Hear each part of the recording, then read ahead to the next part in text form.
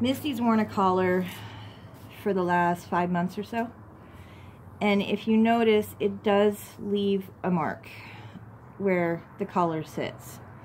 Um, it'll rub on the feathers and I go back and I'll trim the feathers down so that they don't break and cause him a lot of pain.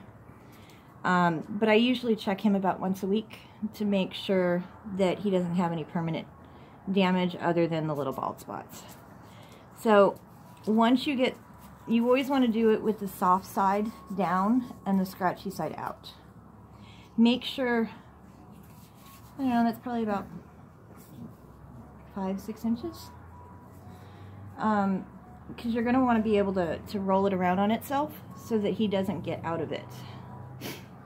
So you just lift up his feathers and place it around. But when you place it, you also don't want to place it high.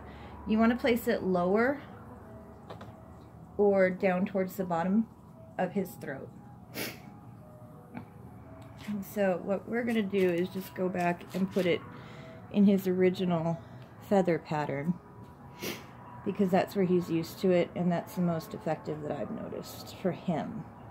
You're probably going to readjust it a few times as you first start doing it so that way you can get the maximum amount of sound reduction from the roosters.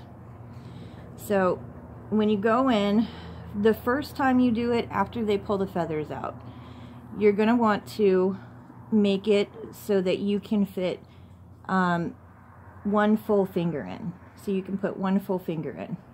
Give them a couple of hours so that they get used to it at this point. They're going to buck. They're going to walk backwards. They're going to knock into things. Um, but as long as you can put one full finger in, then they won't strangle themselves.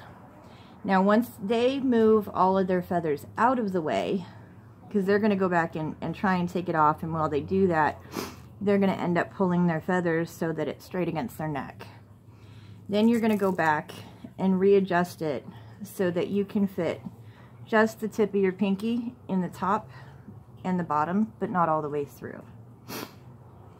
Make sure that you have a decent overlap of the material um, so that they don't have the ability to tug it off.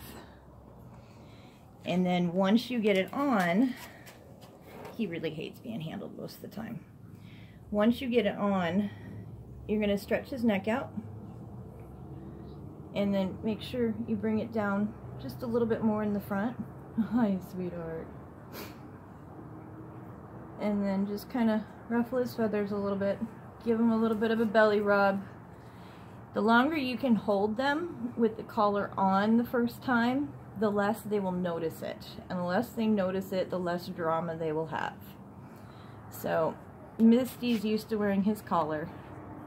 But again, make sure it's at the bottom of the neck and not up towards the top because if you go towards the top then you're going to mess with their ability to swallow and eat food.